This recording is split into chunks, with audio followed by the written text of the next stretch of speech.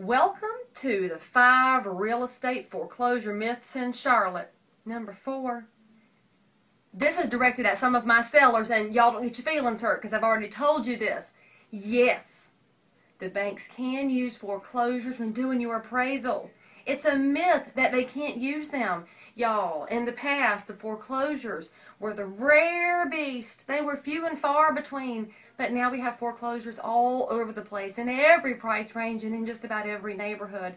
The appraisers have to take them into consideration when looking at your value, especially if there's more than one. If you need to know how a foreclosure has affected your house's value, give me a shout. I'll be glad to help any way that I can.